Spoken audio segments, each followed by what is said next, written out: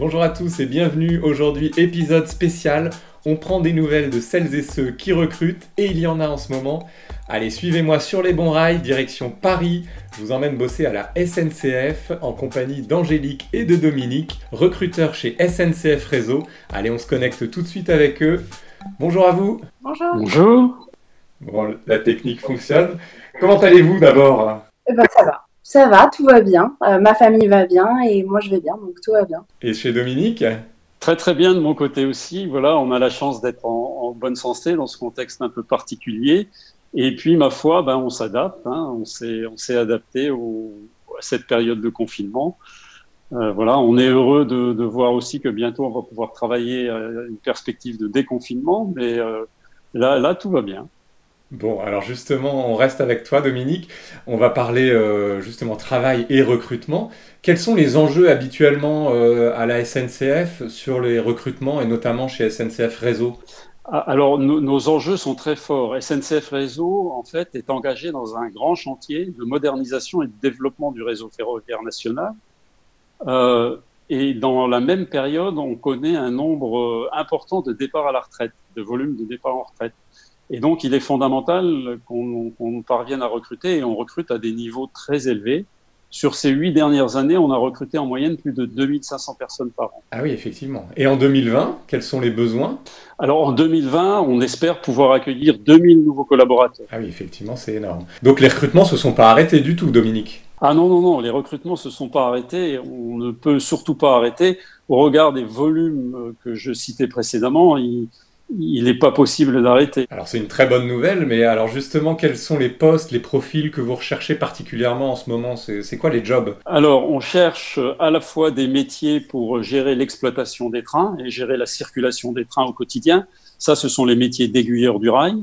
Euh, okay. Ce sont les gens qui travaillent dans les postes d'aiguillage et qui dirigent euh, qui, qui, dirigent les trains suivant l'itinéraire qu'ils doivent prendre. Donc là, on est sur des profils très ouverts. On cherche des gens qui euh, ont une bonne capacité à résister au stress, à respecter, à mettre en œuvre un certain nombre de procédures sur des profils qui sont très ouverts.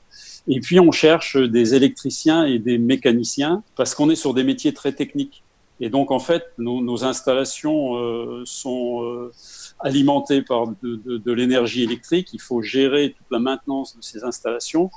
Euh, et, donc les, domaines phares dans lesquels on recherche, ce sont ces, ces métiers de l'électricité, et puis aussi les métiers de la mécanique, parce qu'il y a beaucoup d'assemblage mécanique, d'assemblage de pièces mécaniques sur lesquelles il faut qu'on qu fasse de la maintenance, sur la superstructure et l'infrastructure de la voie, où là on est aussi ouvert sur des profils euh, BTP génie civil. Euh, donc essentiellement pour tout ce qui est maintenance sur des profils de, techniques et de, techniciens.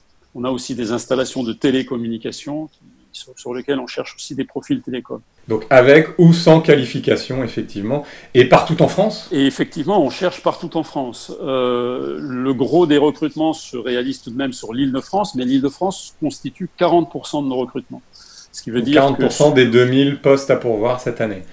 Absolument. Le reste en province. Bon, alors moi, c'est des métiers que je connais pas du tout, Dominique. Ah ben, je, écoute, je serais vraiment très heureux de t'inviter à aller voir sur notre site et à venir nous voir pour euh, regarder un petit peu comment on travaille et, et s'immerger dans notre monde et dans, nos, dans, dans l'environnement de nos métiers. On t'attend eh ben, avec hâte et avec impatience. Eh ben, écoute, invitation acceptée. Merci beaucoup. Super. Je viendrai dès que possible. Alors, je me tourne maintenant vers, vers toi, Angélique. Comment vous faites concrètement pour les recrutements qui étaient déjà amorcés avant la crise, qui sont en cours finalement? Comment vous êtes adapté alors, euh, la première étape dans, dès l'annonce du, du, confinement, ça a été principalement de contacter les candidats pour les rassurer euh, et nous, pour leur dire que le, nous allions adapter le processus de recrutement euh, à la situation. Et donc, on les a contactés un par un et, euh, et on les a rassurés. D'accord, donc le process est en cours pour eux. Et alors, en tant que candidat potentiel, moi, si j'ai envie de postuler, que va-t-il m'arriver? Dois-je me déplacer? Comment ça se passe concrètement? On a euh, mis en place, du coup, un outil d'évaluation à distance. Et comme le disait également tout à l'heure Dominique, c'est un, une évaluation du coup qui se déroule en trois questionnaires. Un questionnaire de personnalité, un questionnaire de motivation et du coup un questionnaire permettant d'évaluer du coup le mode de raisonnement des candidats. Ces okay. questionnaires du coup durent environ entre 10 et 20 minutes et c'est au travers de ces questionnaires qu'on peut voir si c'est en corrélation avec le métier cible. Et il y a un entretien téléphonique à un moment donné? Voilà, justement pour pallier les entretiens physiques, nous mettons en place des entretiens en visio. Alors, on les invite soit par Teams, soit par Skype, et nous allons du coup échanger sur leur candidature. Alors, il est vrai que parfois, les personnes ne sont pas forcément, et les candidats ne sont pas forcément à l'aise, du coup, avec euh, euh, cette euh, façon. C'est vrai, tout le monde n'est pas à l'aise avec la vidéo. ou même, il y en a qui n'ont pas du tout, du coup, la capacité de pouvoir répondre à notre besoin, c'est-à-dire qu'ils n'ont pas forcément d'ordinateur, n'ont pas forcément Internet, ou leur connexion n'est pas en adéquation pour pouvoir faire une visio. Alors à ce moment-là, eh ben, on les va les convoquer du coup dès la reprise, dès que le confinement, le déconfinement en tout cas nous permettra, euh, et ils ont autant de chances d'être recrutés que toute autre personne pouvant réaliser un entretien visible. D'accord, donc là ils pourront se déplacer en agence. Exactement, et on recevra de, la façon identique qu'auparavant. D'accord, ben, merci pour ces précisions. Et si je, si je suis en situation de handicap, comment ça se passe? Alors en situation de handicap, euh, du coup une cellule a été créée l'an dernier, dont je suis la référence euh, euh, et euh, nous allons du coup adapter de la même façon du coup le processus de recrutement. Il est vrai pour autant que, étant donné qu'on est sur une, cellule, bah, bien sûr d'évaluation, hein, ça, ça ne change pas, mais aussi d'accompagnement des personnes en situation de handicap dans ce processus, on est plus sur des personnes qui vont préférer du coup le présentiel pour qu'on ait plus cette relation de bienveillance et d'accompagnement. Et donc, dans ce cas-là, bah, je les convoque, je les ai tous appelés, tous rassurés, on a beaucoup échangé et euh, ils seront convoqués dès que possible et dans les meilleurs délais euh, à notre agence. Ok. Bon, allez, Angélique, entre nous, euh, pour multiplier mes chances, un petit conseil à me donner en tant que candidat pour réussir mon entretien? Oui, bien sûr. le seul conseil que je peux donner, c'est principalement, il faut être spontané dans ses réponses. Faut pas chercher à, à, savoir ce que nous, on attend, parce que ça va justement être préjudiciable, parce que ça va ouais. vos réponses. Voilà, exactement. Ça va biaiser les réponses. Euh, concernant les entretiens, ben, ce qui est important surtout, c'est de euh, ben, se renseigner sur les missions du poste et puis également ben, euh, travailler ses motivations pour l'intégrer. Et si donc je peux postuler sans qualification ou avec qualification, hein, c'est ça? Exactement. Oui, c'est en fonction du profil. Et quelle sera la première décision que vous prendrez l'un et l'autre une fois déconfinés Personnellement, j'aime bien faire du sport et ce qui me manque un petit peu, c'est de pouvoir regrimper sur mon vélo et d'aller faire une belle, une belle et grande virée. Donc j'attends ça avec impatience. Bon, on pourra bientôt faire 100 km, donc c'est pas mal. Oui.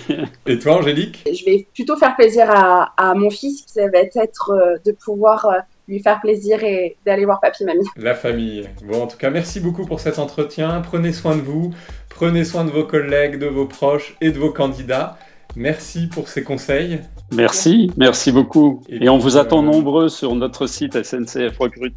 Le message est passé, merci beaucoup. En tout cas, c'est une bonne nouvelle. Le recrutement suit son cours, il y a toujours des postes à pourvoir. Donc n'hésitez pas, postuler, rejoignez la SNCF. N'hésitez pas aussi à liker, partager, commenter cet épisode. J'espère que ça vous a plu. Boostez l'audience, les pouces, faites monter l'audience abonnez-vous et dites-nous aussi chez vous comment vous bossez en ce moment dans les commentaires. Ça nous intéresse de partager votre quotidien. Allez, à bientôt au prochain épisode. Salut